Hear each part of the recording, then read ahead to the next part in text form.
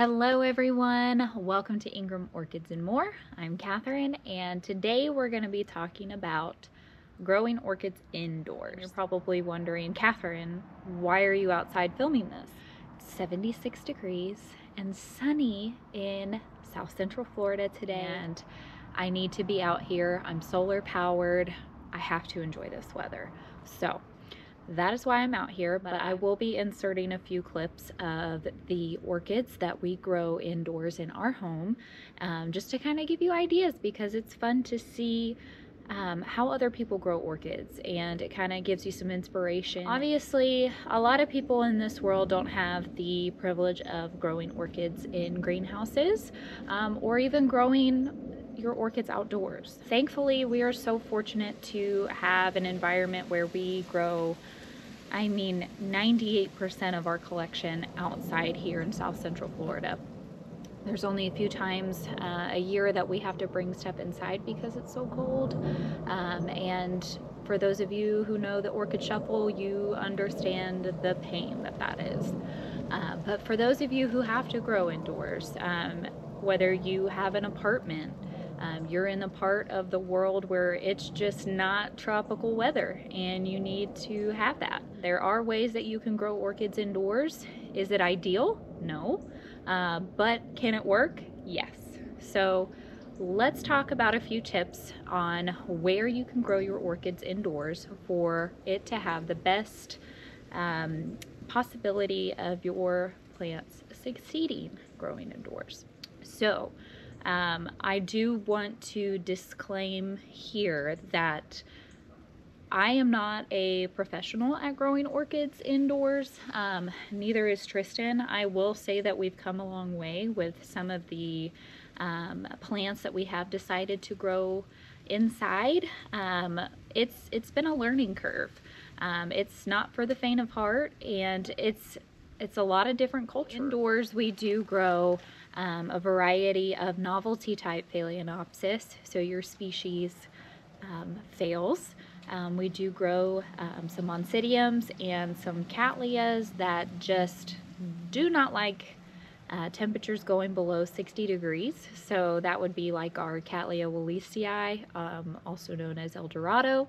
Um, we have a few like our White Princess, um, just a very mixed mixed bag of items that we grow indoors. Um, we have them in our stairwell um, on a glass shelf with grow lights um, right above it, and they are just the grow light bulbs that screw into the ceiling. For those of you that are growing indoors and you're just starting this process and you're asking the question, like, where do I put these plants in my home? Well, first of all, you need to ask yourself a question. Are you able to manipulate the natural light that you have with windows? If the answer is yes, um, you want to look for a south or eastern facing windows. Those are your top two choices in terms of natural light. Um, north facing windows tend to be a little bit too dark, and in moments like that, um, your leaves on your orchids are going to show a darker green color. Um, overall, your plant may be doing well, but you might not ever see that plant bloom. Um, a lot of times people ask us questions, you know, why is my orchid not blooming? And it's could be a variety of things, but the top two reasons are it's not getting enough light or you're not fertilizing enough. Um, so that's typically the first two reasons um, why. And western facing windows get a little too hot in the afternoon time. Um, so you can run the risk of burning your orchids and burning the leaves and you really don't want that either. It is it is a factor that can happen in any window, obviously, with any changes in the movement of the plant. Um, the glass can kind of magnify, or I should say intensify the light. Um, and you just need to, to be watching your plant and seeing how it's adjusting to being in front of a window. Um, just like you would be growing a plant outside.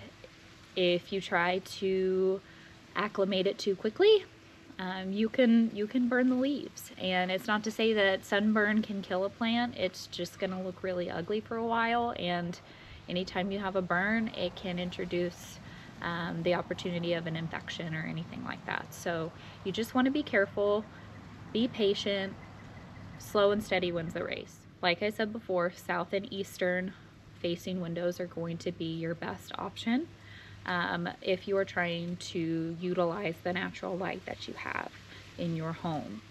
If natural light is not a possibility, there are options where you can use artificial lighting, such as grow lights. Um, and let me tell you the difference with this. The lighting requirements for utilizing the natural light from your windows in your home is typically six plus hours of the day. You want to kind of mimic the daylight hours, the growing hours in that sense. Um, if you are utilizing artificial lights, such as grow lights, in your home, you want to have those lights on 14 to 16 hours a day on average. And you can set these to a timer just so you don't forget to turn them on and turn them off. Um, having the grow lights on a little bit longer than your standard daylight time um, is better in a sense because your plants are going to think, oh, the days are longer. I'm going to put out more growth. This is great. We need to work on sheaths and buds and all that good stuff. If for some reason you can't, you're not getting enough light requirements from the natural light sources and you decide it's time to get grow lights.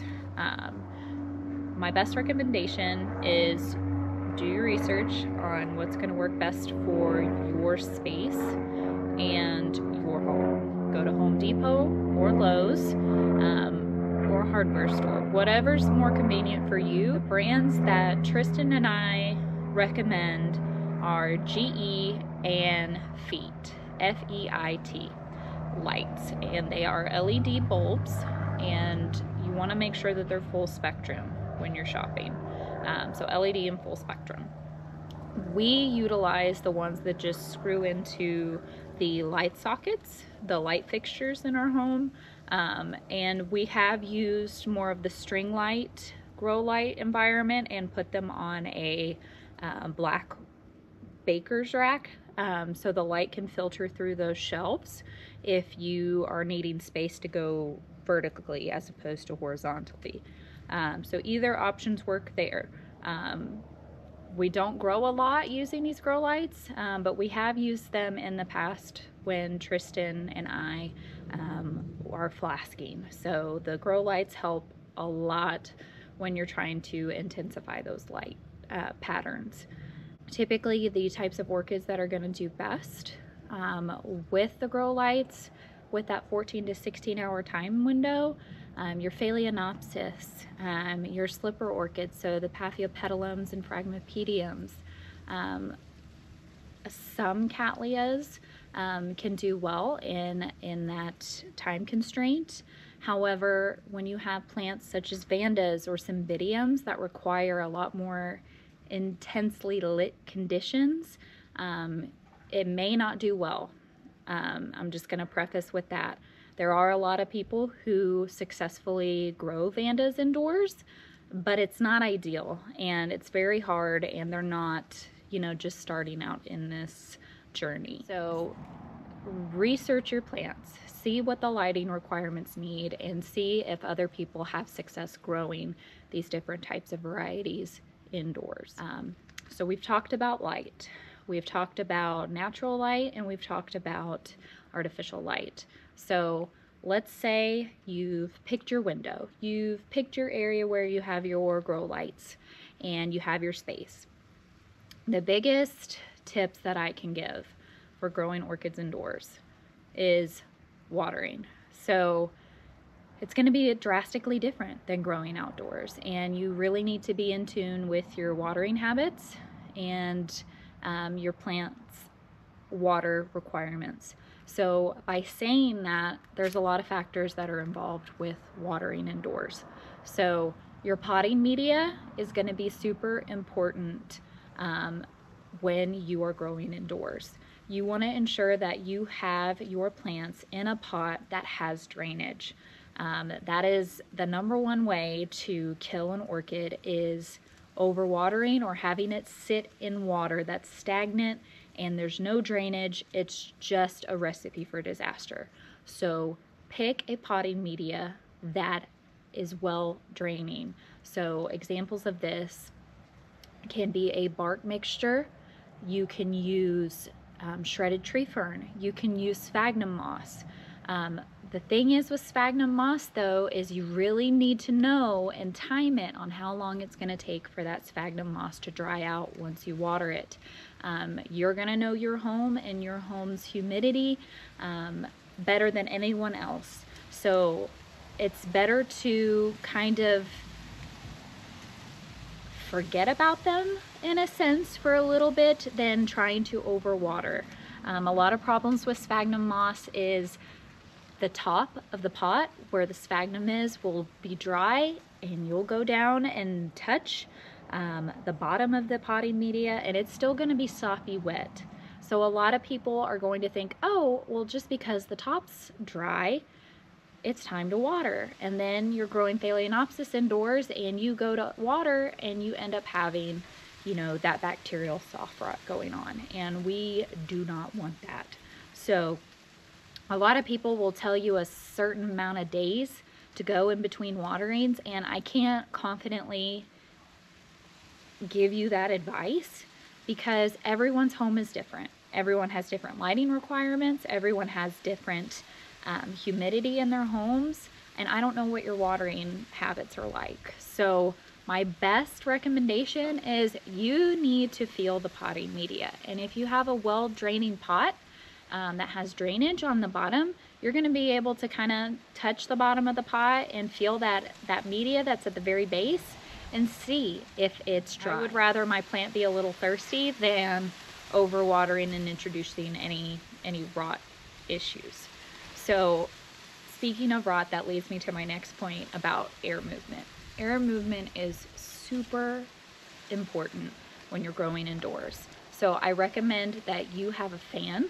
Um, if your room does not have, let's say, a ceiling fan above um, to move a whole bunch of air, um, you need to get a little fan to blow in the direction of your plant collection.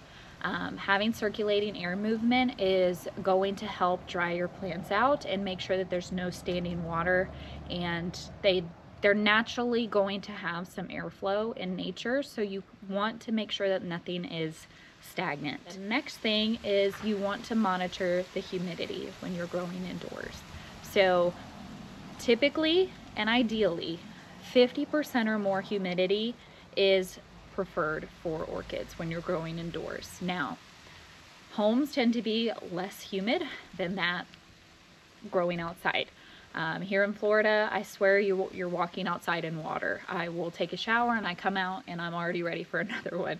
So definitely different. And in different parts of the world, it's very dry. So if you have less humidity, stuff is gonna dry out faster. And if you're having air movement, stuff is going to dry out even more. So if you're using potting media like, like bark mix, um, as opposed to sphagnum moss, your bark mix is going to dry out a heck of a lot faster than something that's more moisture retentive like shredded tree fern and sphagnum moss. So know what your watering habits are and pick your potting media accordingly and know when your plant fully dries out so you know when it's time to water again. Uh, because if stuff is still damp, you may not want to water until it's completely dry. Um, so there is that delicate balance there. But circling back to the 50% or more humidity that orchids ideally require, um, sometimes it's hard to achieve that when you're growing indoors because it is a drier environment. And when you're growing plants inside your home, um, you want to just grow plants. You don't want to grow mold. So it is a is a sticky subject in terms of that. So a lot of people will use humidifiers in their room that they're growing their orchids in. And that's that's okay. You just want to make sure that it's not so humid that you're growing, you know, mold in your home. And I would hate for that to happen. So don't be like, well, Kathryn told me to get a humidifier, make my house as humid as possible. No, that's not, that's not what I'm saying. Um, if you can't use a humidifier and you're wanting to control the humidity level in your home, um, a lot of people have successfully taken, you know, plant saucers and filled them with like river stones or any types of rocks and just putting a little bit of liquid at the bottom and sticking your plant on top can help with the humidity levels. So um, there are a lot of ideas. People get very creative when growing plants indoors. Fine tune what's going to work best for you. Humidifiers are relatively inexpensive. Um, we don't have a humidifier for our growing environment indoors um, just because Florida tends to be so humid on its own anyway. Um, we're already at 50 60% humidity in our home. So we have dehumidifiers to kind of help with that. Um, that is my my tips and tricks for growing orchids indoors. Um, it takes practice. It really, really does. And are you going to get it right the first time? Who knows? If you do, that's phenomenal. I'm proud of you. But it took us a long time to to get it right, especially with with Phalaenopsis growing indoors. Um, they don't have success outdoors, so we tried moving them indoors and noticed that oh, we're getting new leaves, we're getting new roots. Like you just start seeing where their happy places are in the house. It's, it's a challenge, but once you know where the best place to grow your orchids are in your home, you're gonna start seeing progress. You're gonna start seeing little, little leaves shooting out. You're gonna start seeing spikes. You're gonna be excited. Your plant is gonna tell you when it's in that happy spot. So always stay encouraged and research what your orchid needs.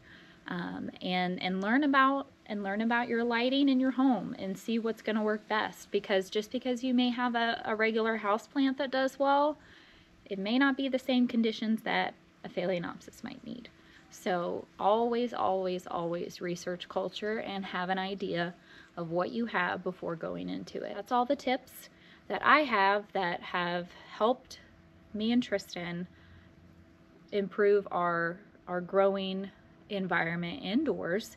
Um, and that's kind of how to grow orchids indoors.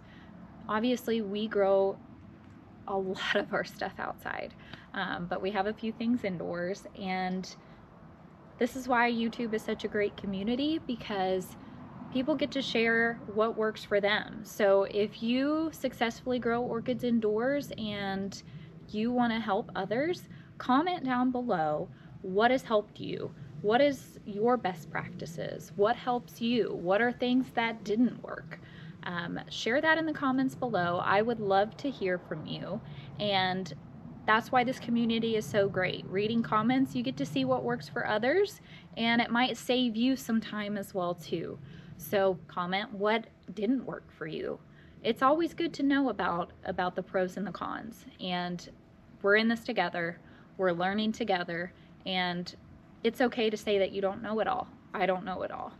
Um, I'm still learning every day when it comes to this this hobby, and um, it's it's wonderful learning from others and seeing what works for them. And sometimes, if it works for someone and it doesn't for you, that's okay too you're going to learn what works best for your plants in your growing environment. So thank you so much for watching. I appreciate you all tuning in and learning a little bit on how to grow orchids indoors. If you like this content, please go ahead and give this a thumbs up and leave a comment down below showing your support and hit that subscribe button if you haven't already. Appreciate you guys and we'll see you in the next one. Thanks so much. Bye.